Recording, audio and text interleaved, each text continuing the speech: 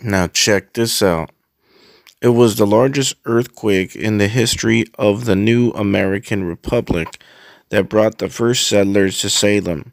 The New Madrid, Missouri quake of 1811.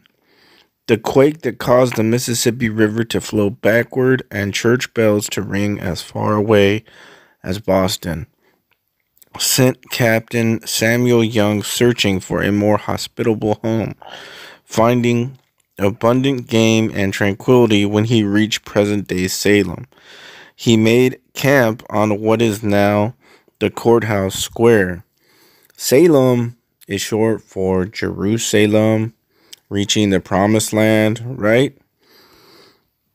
In the 1820s, a severe drought hit northern and central Illinois, which contributed to the wagon loads of people traveling to southern Illinois to obtain food and grain for themselves and their livestock, as this was compared to the biblical story of Israel going to Egypt to purchase grain.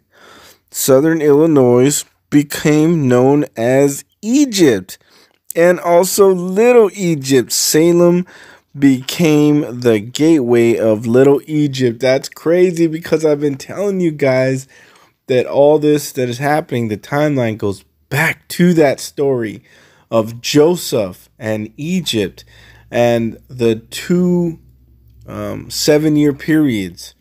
It's directly linked to this Little Egypt. That's crazy. That's why it's called Little Egypt. That's where the X is made with the eclipses right on Little Egypt, connecting us back to 1811 right here.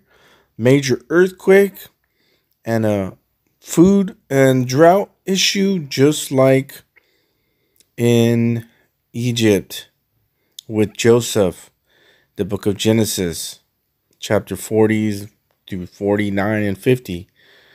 The two, seven years of plenty and seven years of famine. It's amazing the connections. The New Madrid seismic zone is not in an area of the United States that most people would assume is at risk of earthquakes. It's located in the middle of the country, basically on the border between Missouri, Tennessee, Arkansas, and Kentucky. Despite this, however, there are millions of people at risk today of a major earthquake. And we know this because it's happened before.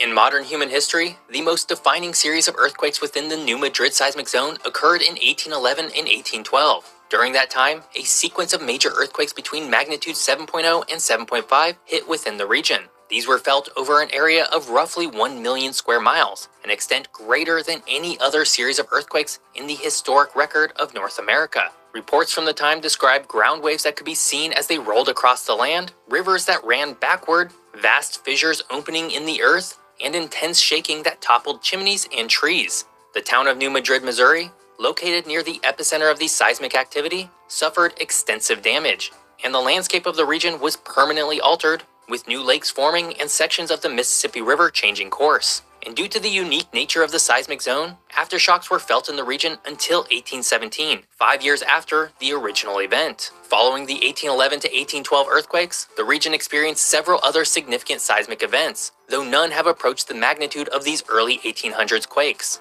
Yeah, we're in for it. We're in for some earthquakes, for sure. For sure, that is where the eclipse makes the X at Little Egypt and it follows the New Madrid fault line down. The eclipse goes right across it. We are being spoken to, being warned. Definitely, it's coming. Earthquakes are coming. It's about patterns, too. These patterns always repeat themselves. Everything is just a pattern.